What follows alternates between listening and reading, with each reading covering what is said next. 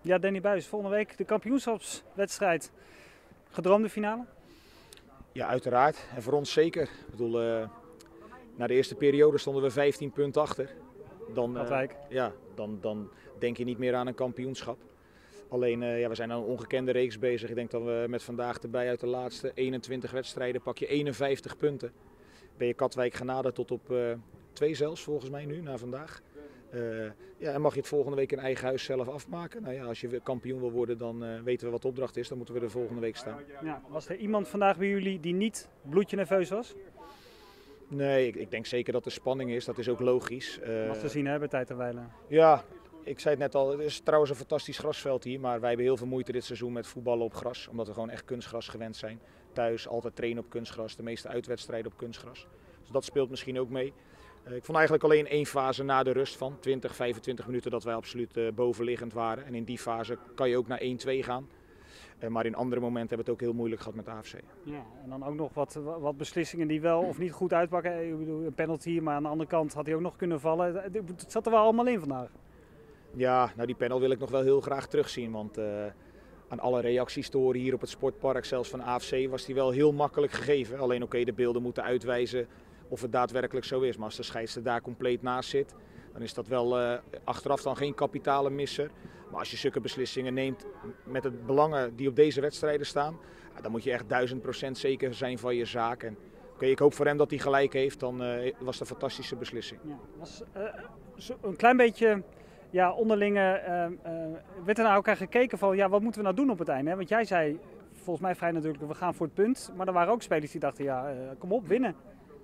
Jazeker, alleen ik vond in de eindfase dat als er nog één ploeg uh, uh, waarschijnlijk die overwinning ging pakken, dat zij het waren. En je moet ook slim zijn soms. Ik bedoel, uh, het stond bij Katwijk 1-2, dat was in blessuretijd. Dat zou betekenen als zij nog de 2-2 zouden maken, dat wij gewoon voldoende hebben aan deze stand. Op het moment dat je alles of niks gaat spelen, je zou hem verliezen en zij scoren toevallig de 2-2, wat ze al vaker hebben gedaan. dan heb je helemaal niks. En nu heb je gewoon alles in eigen hand. En ik moet ook zeggen, ik heb liever dat we volgende week moeten winnen als dat we hadden gezegd, misschien had je aan een puntje ook genoeg gehad, want dan ga je dadelijk op twee gedachten hinken. Weet je, als wij kampioen wil, willen worden, en dat willen we, dan uh, zullen we op ons eigen terrein uh, de nummer 1 moeten verslaan. Nou, dan mogen we laten zien of we goed genoeg zijn.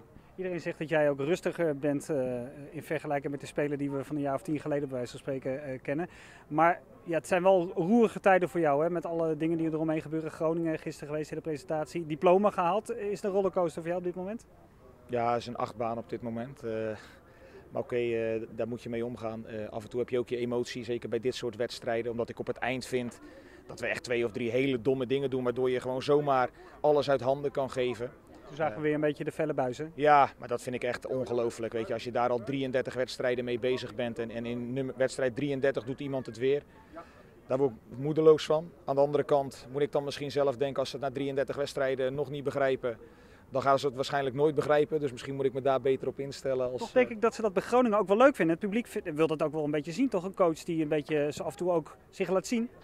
Ja, nee, maar ik vind, spelen voor de titel. Ja. Ja, dan, dan, moet je en slim zijn. En, en als je erin moet kleunen, dan moet je er wel in kleunen. En als je dan toevallig een kaart pakt en je bent volgende week geschorst, ja jammer, dan kan een ander het afmaken.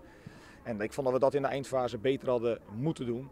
Maar overal, uh, ja, wat ik net al zei, als je 15 punten hebt achtergestaan en je pakt uit de laatste 21, 51 punten, dan kan ik mijn groep alleen maar complimenten maken ja. voor hetgeen zij gepresteerd hebben. Toch heel even dat diploma, ik noemde het net even kort. Hè. Gefeliciteerd ermee natuurlijk. Nu mag je ook echt uh, de baas zijn bij Groningen, om het zo maar even te zeggen. Um, ja, heb je hem al binnen? Uh, nee, ik, ik, heb dan, uh, gisteren hebben ze via een persbericht aangegeven dat een aantal cursisten geslaagd zijn. Daar zat ik bij, dus daar ben ik blij mee. Maar je wist het al? Ik wist het al. Ja. en achter de schermen moeten nog een paar jongens volgens mij hun laatste dingen afronden. Volgens mij is de bedoeling dat met uh, Johan Kruisschaal iedereen zijn diploma daadwerkelijk krijgt. Oké, okay, voor mij is het mooi. Ik bedoel, ik heb nu groen licht om volgend jaar bij Groningen aan de slag te gaan. En uh, daar ben ik ontzettend blij mee. Succes deze week. Dankjewel. En komend weekend. Ja, dankjewel.